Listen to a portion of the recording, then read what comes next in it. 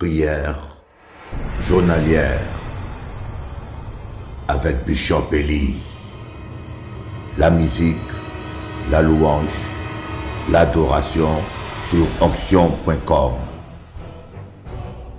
Tous les jours, écoutez les enseignements et la prière sur la chaîne YouTube Bishop Eli ou sur onction.com. Édifiez-vous et fortifiez-vous dans le Seigneur.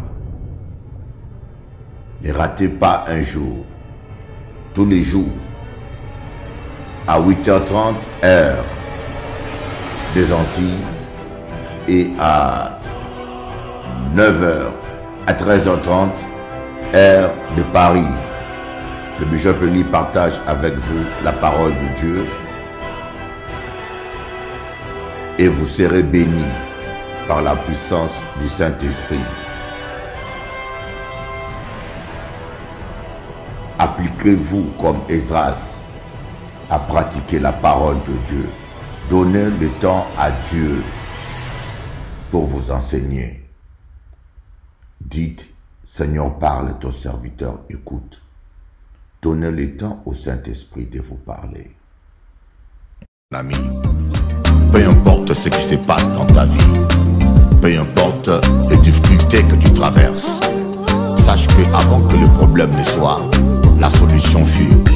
Ne vous inquiétez de rien, faites connaître à Dieu tous vos besoins, et la paix de Dieu qui surpasse toute connaissance gardera vos cœurs en paix en Christ. Et aime ta femme. Dis-moi, pourquoi madame la malheureuse comme ça? Faut s'en repentir. Produisez le fruit digne de la repentance.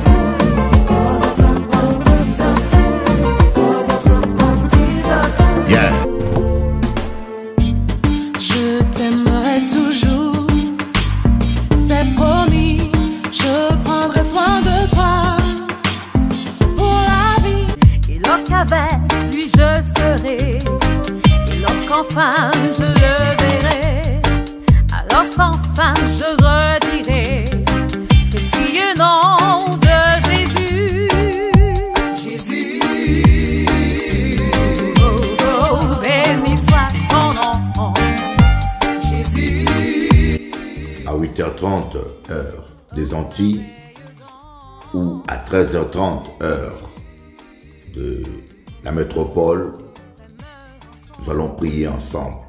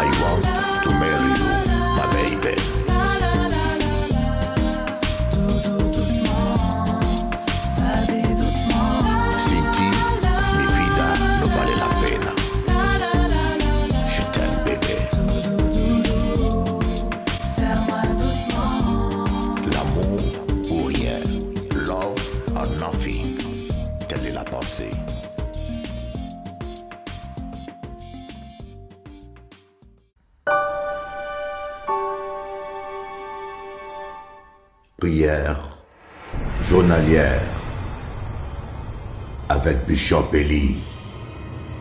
La musique, la louange, l'adoration sur onction.com.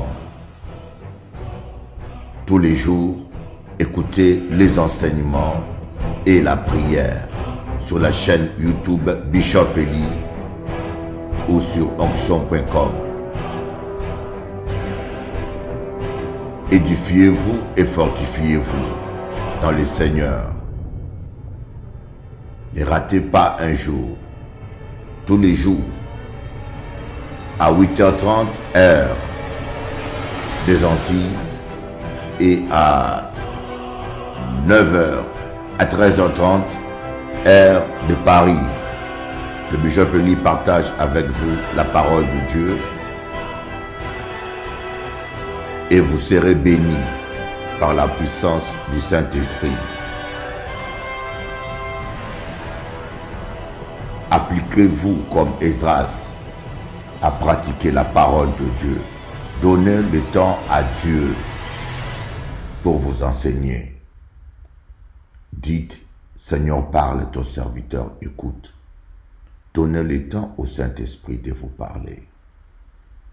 Ami, peu ce qui se passe dans ta vie, peu importe les difficultés que tu traverses, sache que avant que le problème ne soit, la solution fut. Ne vous inquiétez de rien, faites connaître à Dieu tous vos besoins, et la paix de Dieu qui surpasse toute connaissance gardera vos cœurs en paix en Christ. Et aime ta femme.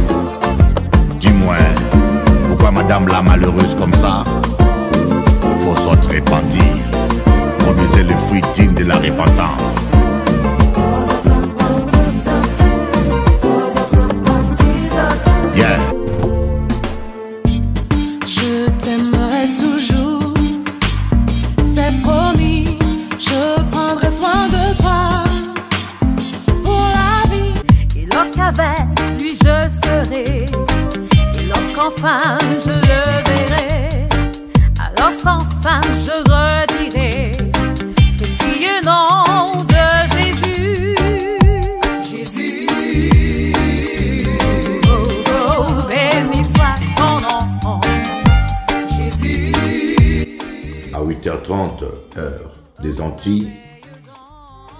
13h30 heure de la métropole, nous allons prier ensemble.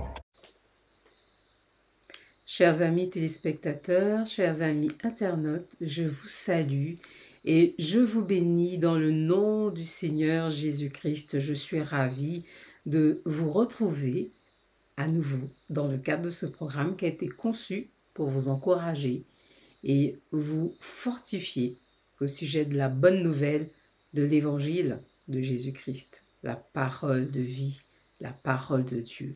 Vraiment, soyez tous les bienvenus, quel que soit le moment, l'heure à laquelle vous suivez ce programme. Il n'y a pas de hasard. Je ne crois pas au hasard. Avec Dieu, il n'y a pas de hasard. Je crois que Dieu a un plan merveilleux pour tous ceux qui croient et espèrent en lui. Tous ceux qui lui ont confié leur vie. Tous ceux qui l'ont reçu dans leur vie comme leur Seigneur et leur Sauveur personnel. Pour tous, je crois que Dieu a un plan merveilleux. Et j'aimerais donc vous encourager à ouvrir votre cœur. Vous êtes euh, peut-être accoutumé à suivre ce programme ou peut-être vous allez, vous êtes en train de faire connaissance à, cette, à ce programme, avec ce programme, vous êtes en train de le découvrir. Dieu a une promesse, Dieu a un plan pour votre vie. Et je le crois fermement. Que son nom soit béni. Et je veux bénir également Bishop Eli, mon époux qui permet, qui nous permet aussi d'avoir ensemble ce temps de partage de la parole de Dieu. Nous arrivons bientôt, dans quelques jours hein, précisément, au terme de l'année 2023. Alors certains ont pu faire un bilan hein, sur euh, cette année, sur l'année qui s'est écoulée par rapport à, à leurs objectifs de vie, leurs espérances, ce qu'ils ont peut-être traversé, ce qu'ils ont pu voir leurs proches aussi traverser. J'aimerais encourager chacun de nous à garder courage et à garder espoir pour demain. C'est vrai qu'aucun de nous ne sait ce que le lendemain peut enfanter, mais en tout cas, je crois, parce que je crois aussi à la parole de Dieu. Je crois à la Bible et je crois que Dieu a des promesses certaines qu'il accomplit dans la vie de tous ceux et celles qui lui font confiance. Donc prenons courage. Nous avons entendu de bonnes nouvelles, mais également bon nombre de mauvaises nouvelles. Nous avons vu des, situations difficiles euh, dans la vie des autres.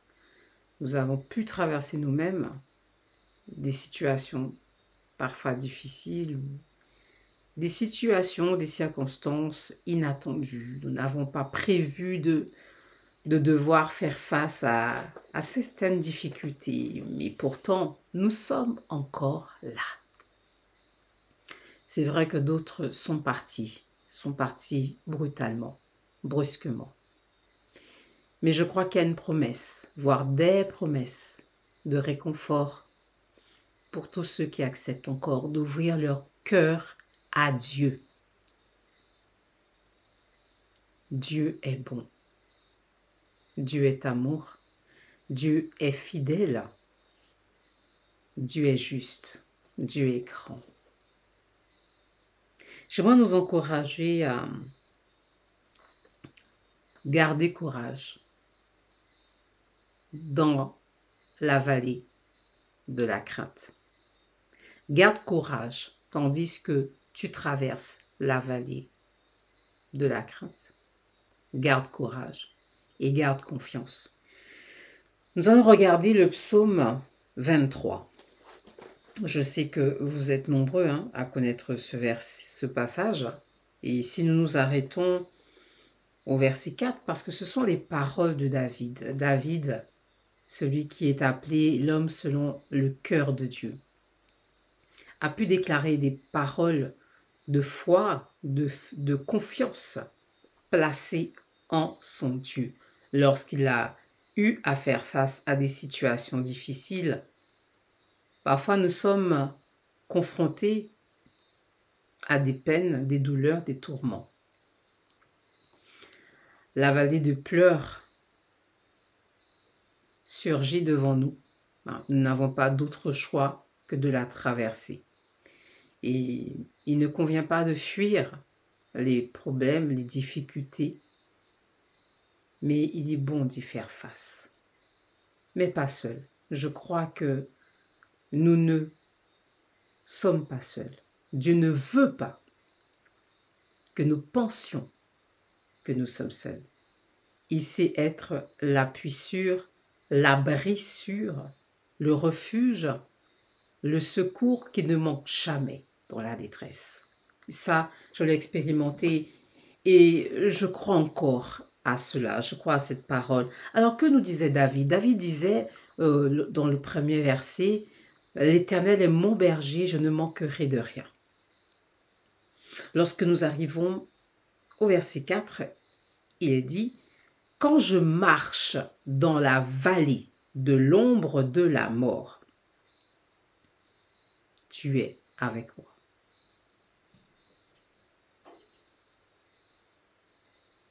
Tu peux te fortifier à croire que Dieu est avec toi si tu as confié ton cœur, si tu as confié toute ta vie, tu peux déclarer ces paroles. Moi, j'aime les déclarer. Même si je suis confrontée à la vallée de l'ombre de la mort, ce n'est que la vallée de l'ombre de la mort. Je n'ai rien à craindre, Seigneur, parce que tu es avec moi.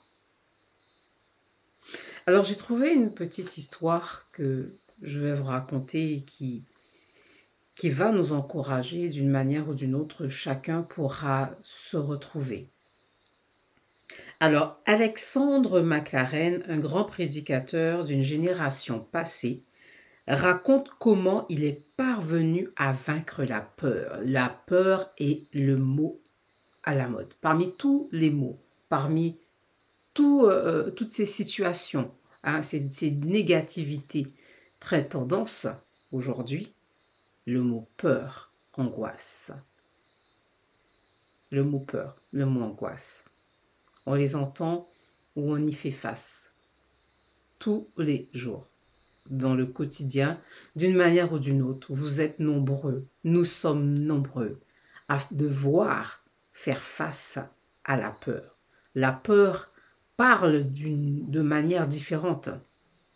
On entend parler de cataclysmes, on entend parler de catastrophes naturelles, imprévues, inattendues, des situations financières, des, des, toutes sortes de tendances dans cette société, hein, des, euh, des morts subites, des départs soudains, des meurtres, des tromperies, toutes sortes d'abus ou de profitations à, différents niveaux, qui blessent, qui déçoivent, qui outragent, qui offensent qui peine, qui afflige des cœurs. David, avons-nous, a été confronté à des situations difficiles qui l'ont permis de réaliser que sa foi, sa confiance placée en Dieu était nécessaire, était vitale, était tout ce qui lui restait. Parfois, tout ce qui va te rester sera d'avoir confiance en Dieu, d'avoir foi en Dieu. Donc ce grand prédicateur nous raconte comment il est parvenu à vaincre la peur. Alors qu'il n'était qu'un tout jeune homme, il travaillait à Glasgow, à quelques kilomètres de son village. Il passait la semaine en ville et rentrait chez lui tous les samedis soirs.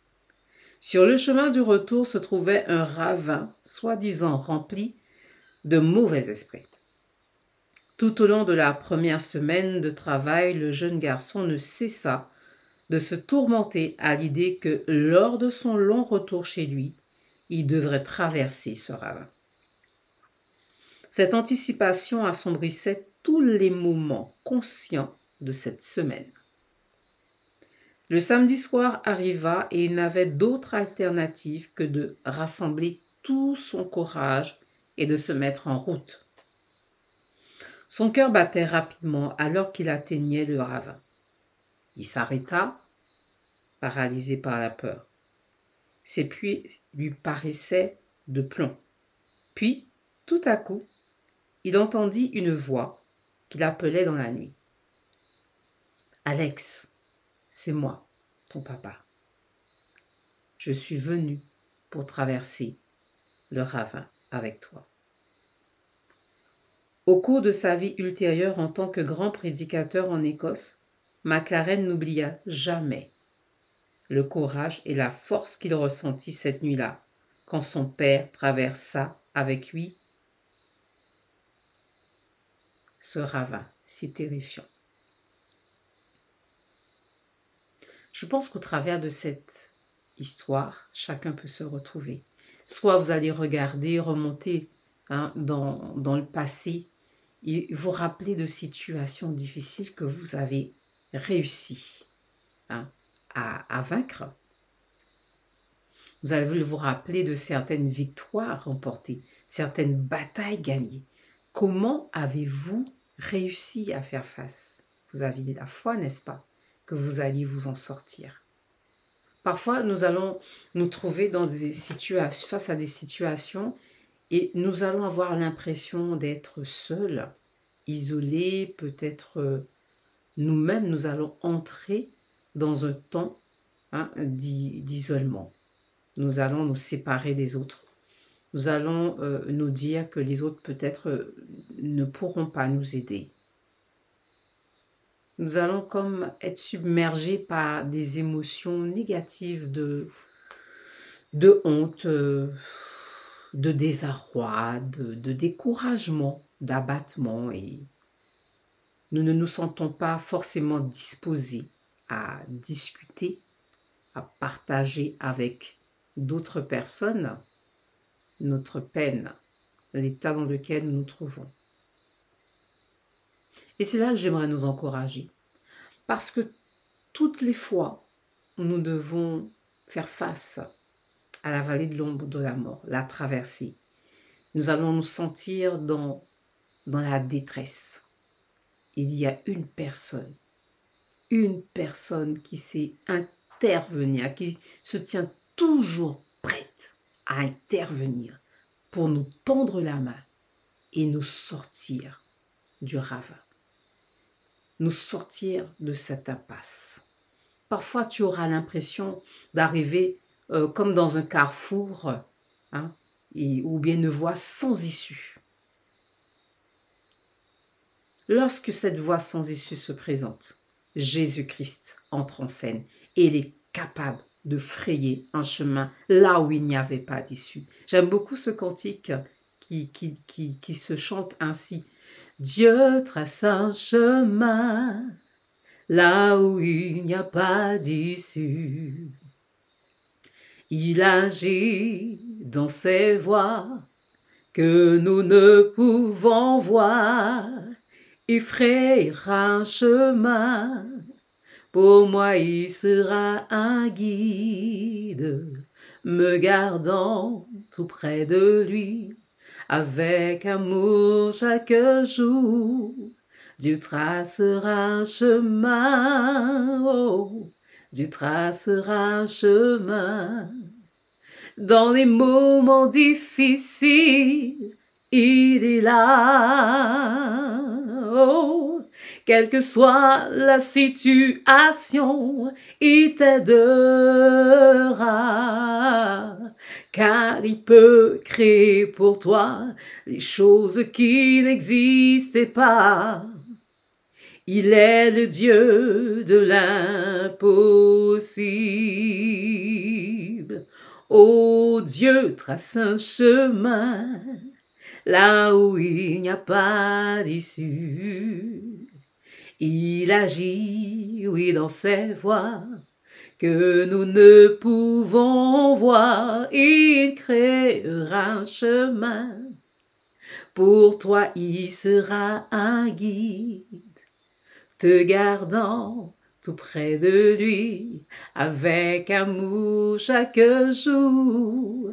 Dieu tracera un chemin, oh oui, Dieu tracera un chemin.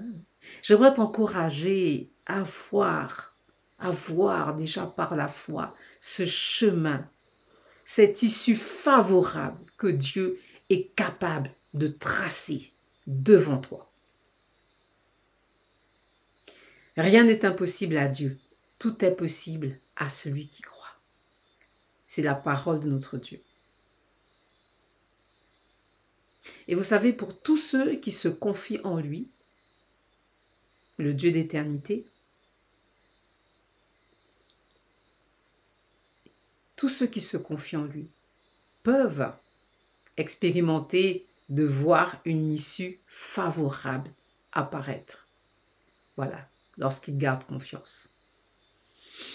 Et je crois qu'il y a un encouragement, vous voyez, par rapport à ce prédicateur qui a souffert d'angoisse, de peur face au ravin. Tu te trouves face à une difficulté que tu penses être insurmontable. La peur t'anime. L'angoisse vient dans ton cœur. Cette angoisse a déjà perturbé ta santé.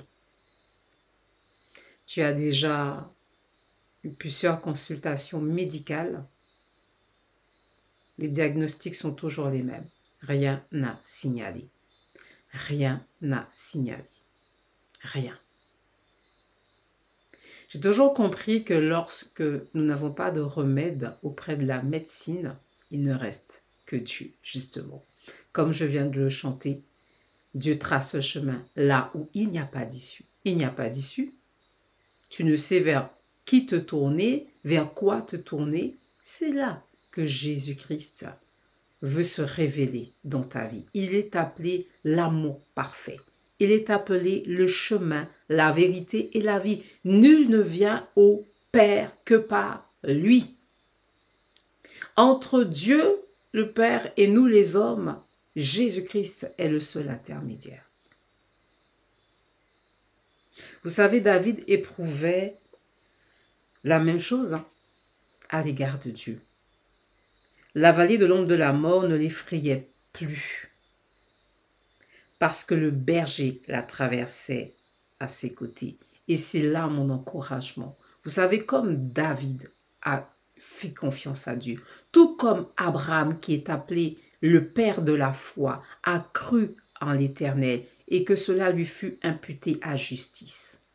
Tout comme ces hommes ont cru, il nous est possible encore aujourd'hui de croire que Dieu est celui qui libère que Dieu est celui qui guérit de l'intérieur, là où peut-être qu'aucun thérapeute n'a pu vous aider, n'a pu t'aider.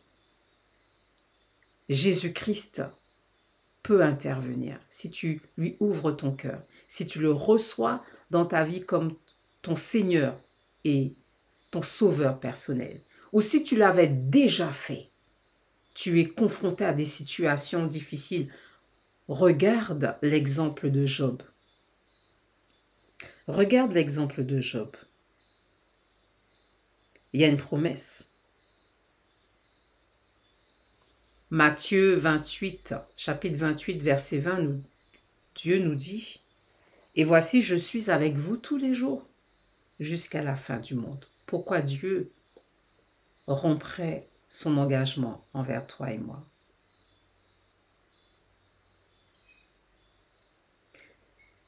Nous nous sommes engagés envers Dieu parce que Dieu lui-même aussi s'est engagé à nous aimer. Dieu a tant aimé le monde qu'il a accepté de donner son Fils unique afin que quiconque croit en lui ne périsse pas, mais qu'il reçoive la vie éternelle. Dieu nous a aimés le premier. Dieu choisit le premier. Dieu nous a établis. Lorsque nous l'avons reçu, lorsque nous avons accepté sa présence dans nos vies. Nous avons donc pris un nouveau départ. Dieu s'est engagé envers nous et nous nous sommes engagés envers lui. Dieu s'est engagé à nous aimer, à cause de cet amour, Dieu s'engage à nous défendre, à nous supporter, malgré nos erreurs, Dieu s'engage à être patient. Dieu s'engage à nous exaucer lorsque nous lui demandons d'intervenir dans nos vies. Dieu s'engage. Dieu s'est engagé et il s'engage encore et il s'engagera encore à le faire parce qu'il demeure le même hier, aujourd'hui, éternellement. Dieu s'est engagé et il s'engage dans ta vie. Alléluia lorsque tu auras besoin, lorsque j'aurai besoin de réconfort. Il s'engage à le faire, à apporter la consolation à notre, à notre âme, à notre cœur, par son esprit. Quelle joie de pouvoir compter sur lui. Quel bonheur d'avoir un tel ami comme Jésus-Christ. David connaissait le réconfort que le bon berger pouvait lui accorder. David connaissait que le berger pouvait procurer du réconfort à ses brebis. Vous voyez, je regardais une vidéo récemment d'un berger hein, hein, avec son troupeau de brebis. C'est euh, formidable, c'est agréable, c'est euh, parfois... Euh, cela fait sourire de voir une telle complicité entre berger et ses brebis et le chien qui n'est pas loin. Alors j'ai vu un, le chien euh, n'attendait que son feu vert, que le feu vert du berger, donc du maître, pour euh, courir, mais courir vraiment à sprint, avec un, avec un sprint même. Courir pour faire quoi? Rassembler les brebis et les faire rentrer dans l'enclos. Puisque oui, elles ont ce temps où elles s'éloignent, elles s'éparpillent pour pouvoir euh, euh, euh, manger, mais il y a un temps aussi pour retourner dans la bergerie, n'est-ce pas? Eh bien, c'est cela. Dieu ne veut qu'aucune de ses brebis ne se perde. Et il fera tout pour garder. Il s'engage à nous protéger. Dieu, par son esprit, va s'engager à, nous guider, à nous conseiller, à nous enseigner dans sa vérité, dans sa parole, afin que nous puissions avoir de la connaissance non pas euh, pour nous énorgueillir, mais pour approfondir notre relation avec lui, connaître nos droits, connaître euh, nos responsabilités et y faire face avec son soutien. Le berger fidèle. Le berger est amour, le berger est bienveillant. Le, bon berger est tout puissant, tout suffisant. Rien ne lui est impossible. Le mal et les méchants représentaient une menace constante pour David au cours de son existence, déjà lors de sa jeunesse comme berger lui-même, et encore plus tard quand il devient le plus grand roi d'Israël. Pourtant, il a gardé confiance. Il s'est même trompé, oui. David a failli. Nous allons commettre des erreurs, nous allons pécher, mais que veut Dieu? Si nous confessons nos péchés, il est fidèle et juste pour nous les pardonner et pour nous purifier de toute iniquité. Il y a du pardon notre Dieu s'engage à nous pardonner. Notre Dieu s'engage à nous relever lorsque nous allons tomber, broncher. Notre Dieu s'engage, mais toi et moi, quel est notre engagement? Quelles sont les clauses? Quelles sont, que, contient l'engagement que nous aussi, euh, euh, nous devons vouer à notre Dieu Cet engagement qui nous lie à Dieu. Quel est cet engagement? Nous avons l'engagement de l'aimer lui, hein, de tout notre cœur, de toute notre force, de toute notre pensée et de nous aimer et d'aimer notre prochain. Nous avons ce premier engagement d'amour. Nous avons un engagement aussi d'obéissance. Lorsque nous gardons ces commandements, nous pouvons être sûrs, lorsque nous cherchons à plaire à Dieu, lorsque nous cherchons à lui être agréable, en gardant la foi, en veillant sur notre cœur, en marchant dans la pureté, dans la sainteté, nous pouvons être sûrs qu'il interviendra dans nos vies. Sans la foi, il nous est impossible d'être agréable à Dieu. Donc il nous faut garder l'amour, il nous faut garder la foi, il nous faut parler avec Dieu, entretenir une relation avec une personne, nous apprenons à découvrir cette personne en passant du temps avec elle. Il te faut, il me faut passer du temps dans la prière, même publier des jeûnes et dans la méditation de sa parole. Il ne suffit pas simplement de lire la Bible, mais il faut aussi s'interroger, poser des questions à Dieu. Comment puis-je mettre en pratique ces paroles? Comment puis-je adapter ces paroles à ce que je vis, dans mon quotidien, parce que Dieu s'intéresse à tous les aspects de notre vie, santé, finances, pour ceux qui sont scolarisés, donc vos études, ceux qui travaillent, votre travail, euh, ceux qui recherchent un emploi justement à ce, pendant ce temps euh, de chômage, Dieu s'intéresse à toi, à ce que justement que, que tu ne sombre pas dans l'abattement. Il peut avoir un temps d'abattement, mais Dieu voudra que tu te relèves. Cette fois, le juste tourne, Dieu le relève toujours. Quelles sont les vallées qui te tourmentent, qui te remplissent des fois d'angoisse? Quelle vallée te hante par la crainte de la mort ou quelque angoisse mortelle? Vous savez, il y a la mort autour de nous. Nous en voyons des départs soudains, brusques, inattendus. Lorsque d'autres partent, la question à se poser, est-il, est-elle partie avec Jésus dans son cœur, dans sa vie? Car c'est là le message. lorsque naître cher part. Tout est pratiquement, tout est déjà joué pour cette personne, puisqu'elle n'est plus, elle ne sera plus sous cette terre. Mais pendant que nous, nous sommes encore sous cette terre, Dieu veut que tu le choisisses. Dieu veut que tu le laisses entrer dans ton cœur, dans ta vie, et qu'il soit euh, au contrôle de ta vie, qu'il tienne les rênes. Parfois, nous tenons les rênes et nous ne voulons pas lâcher les rênes de nos vies, alors que nous nous, sommes déjà trompés à maintes reprises. Parfois, nous, nous, sommes dans le succès et nous pensons, certes, bon nombre pensent que parce qu'ils réussissent, alors qu'ils sentent que Dieu peut-être au travers de leurs proches leur reproche des choses, ils se disent mais je réussis, donc ce que tu me dis, les conseils que tu me donnes, je, vais en faire fi, je, ne, je, ne, je n'en ferai aucun cas parce que quelque part je, je suis confortée dans, dans d'autres aspects, dans d'autres situations, je vois que j'ai raison. Cela ne veut rien dire, bien aimé. Cela ne veut rien dire, mes chers amis et bien aimé dans le Seigneur qui suivait ce programme. Tu peux réussir sur certains aspects, mais tu peux être désagréable à Dieu sur d'autres aspects.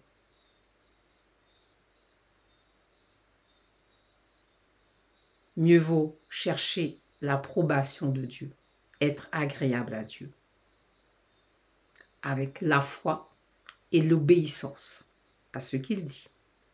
Parfois, nous avons une trop haute opinion de nous-mêmes. Il nous faut nous humilier davantage. Celui que Dieu va sécuriser est celui qui aura un cœur simple, un cœur d'enfant. La Bible dit de prendre modèle sur un petit enfant. Dieu dit, laissez venir à moi les petits enfants, car mon royaume est pour ceux qui les ressemblent.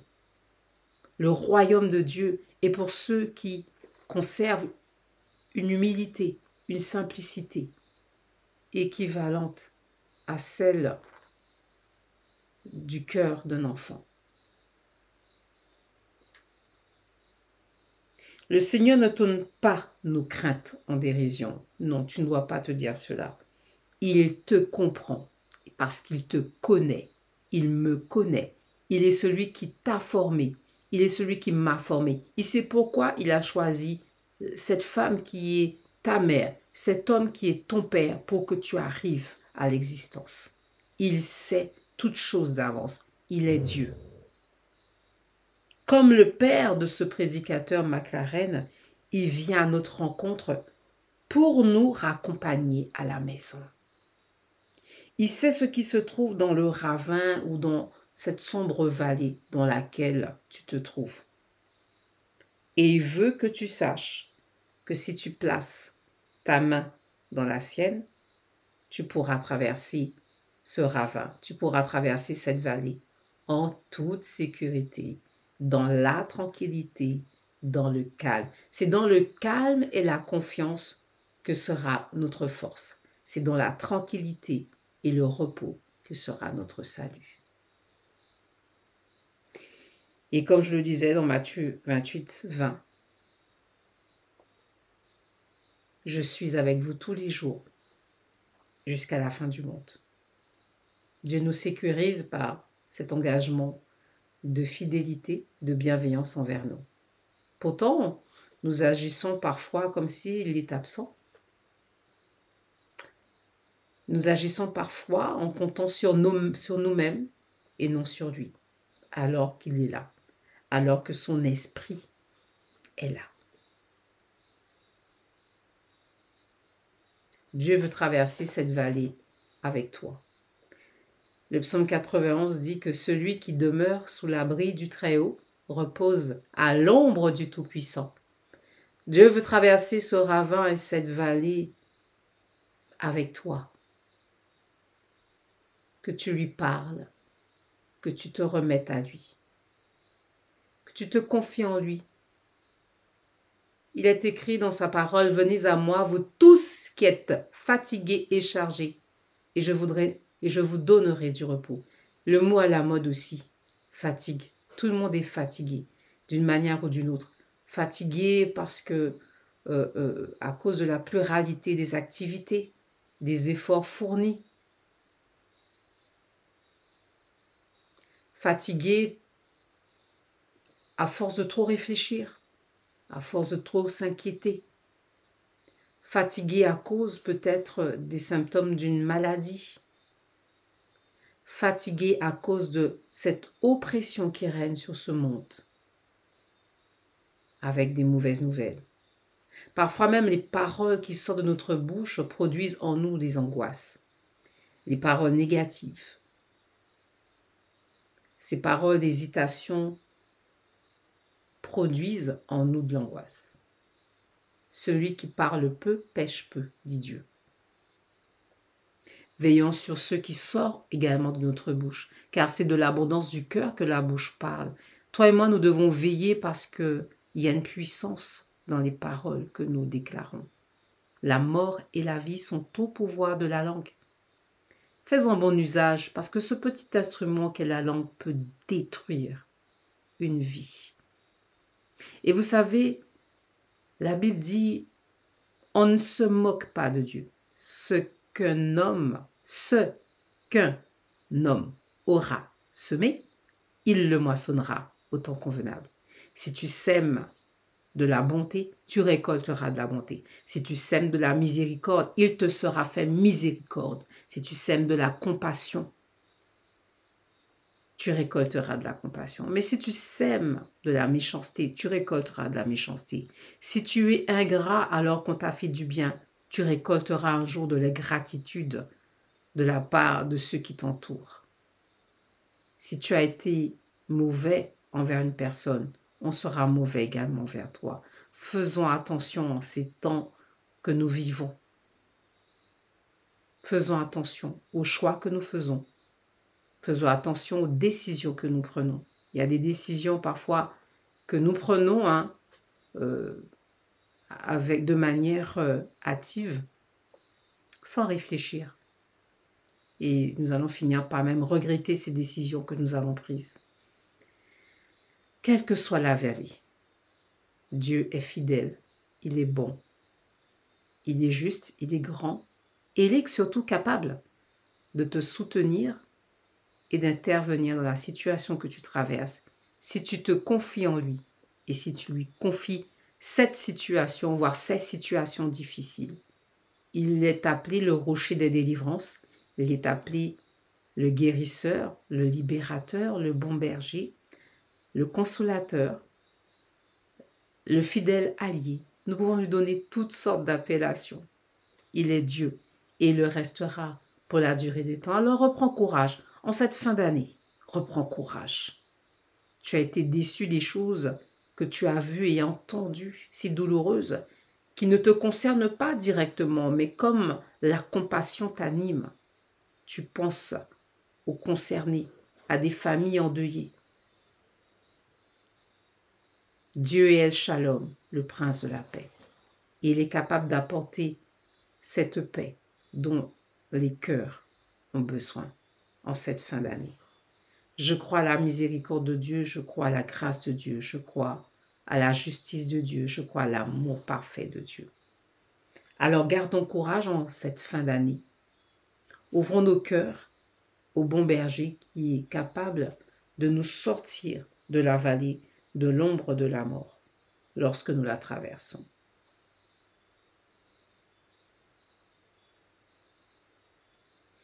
Quelques versets avant de nous séparer, quelques versets, donc quelques paroles bibliques pour vous encourager à tenir bon.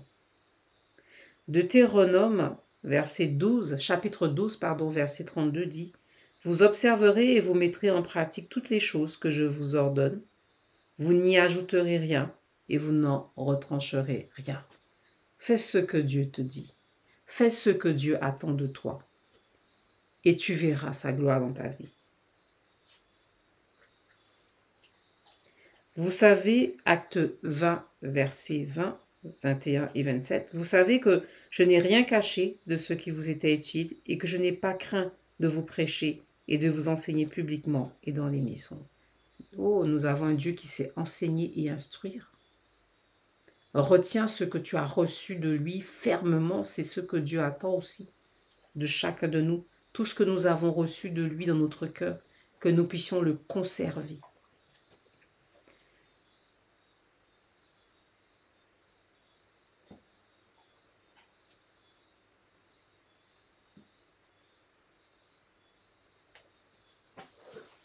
1 Thessaloniciens chapitre 4 verset 1, 2.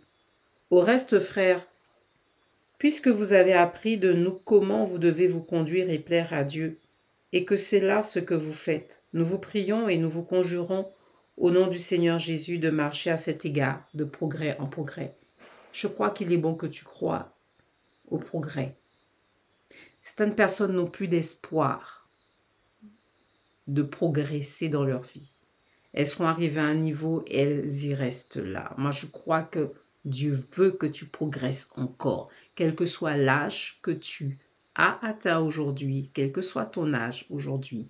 Dieu veut que tu progresses sur tous les plans, dans ta manière de voir les choses, dans ta mentalité, ton caractère, sur un plan plus matériel, dans les choses que tu as entreprises. Dieu veut que tu vives le succès.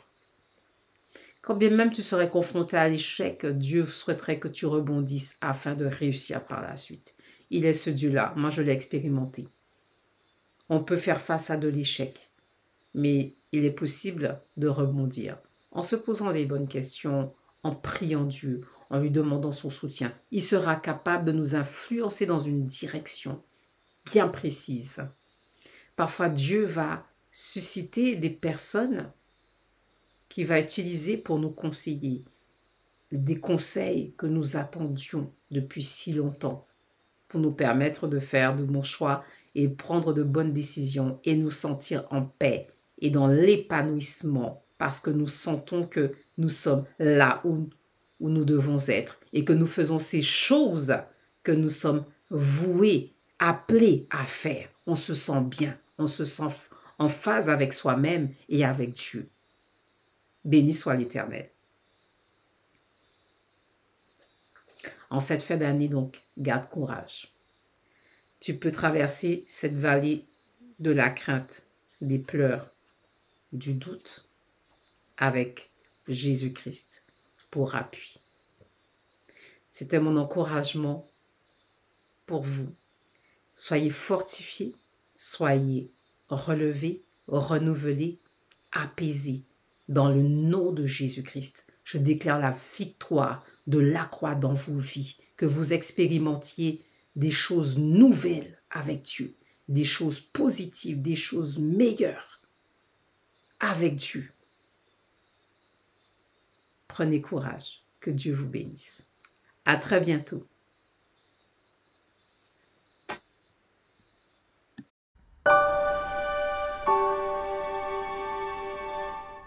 Prière journalière avec Bishop Eli. La musique, la louange, l'adoration sur option.com. Tous les jours, écoutez les enseignements et la prière sur la chaîne YouTube Bishop Eli ou sur option.com.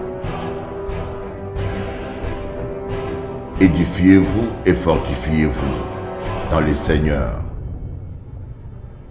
Ne ratez pas un jour, tous les jours, à 8h30 heure des Antilles et à 9h à 13h30 heure de Paris. Le Bishop partage avec vous la parole de Dieu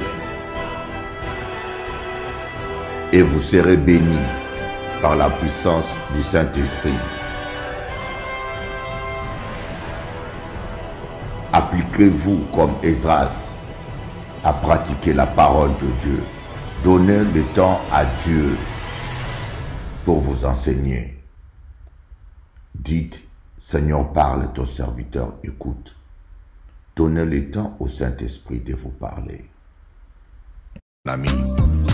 Peu importe ce qui se passe dans ta vie, peu importe les difficultés que tu traverses, sache que avant que le problème ne soit, la solution fut. Ne vous inquiétez de rien, faites connaître à Dieu tous vos besoins. Et la paix de Dieu, qui surpasse toute connaissance, gardera vos cœurs en paix en Christ. Et aime ta femme. Dis-moi, pourquoi madame la malheureuse comme ça?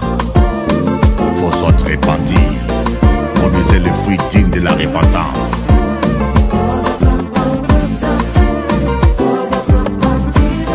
Yeah. Je t'aimerai toujours, c'est promis, je prendrai soin de toi pour la vie. Et lorsqu'avec lui je serai, et lorsqu'enfin je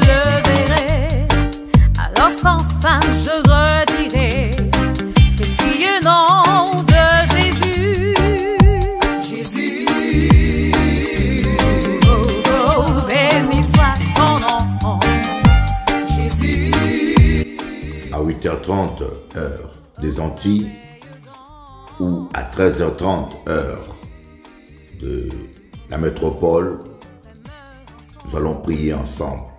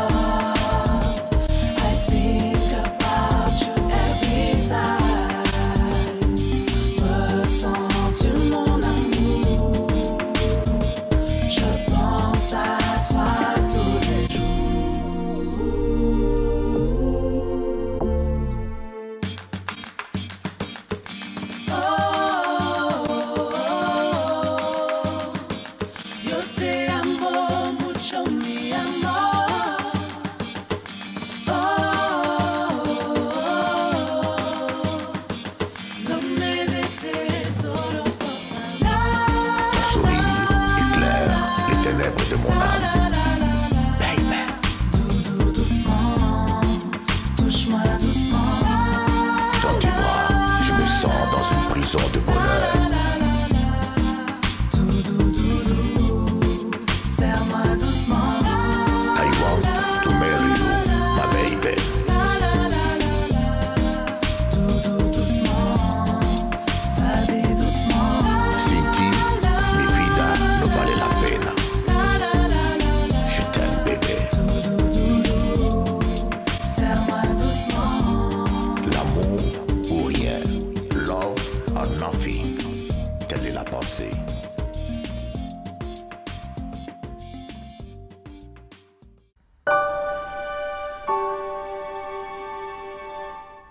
Prière journalière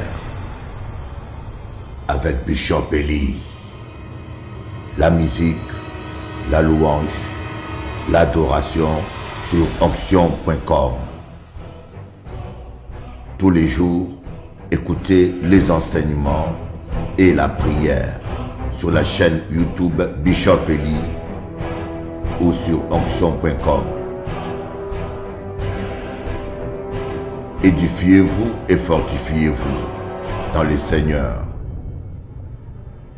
Ne ratez pas un jour, tous les jours, à 8h30 heure des Antilles et à 9h à 13h30 heure de Paris.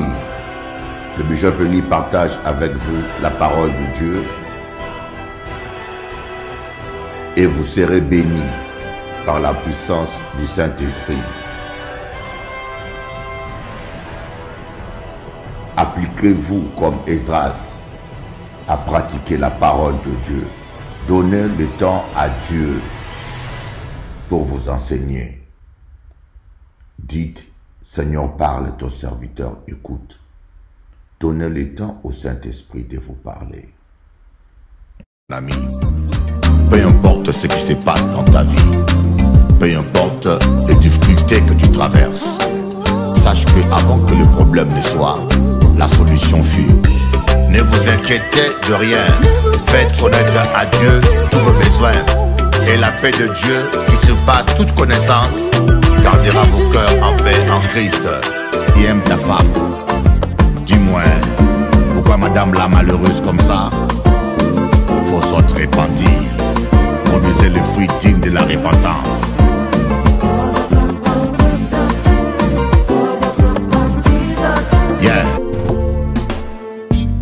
Je t'aimerai toujours, c'est promis, je prendrai soin de toi pour la vie. Et lorsqu'avec lui je serai, et lorsqu'enfin je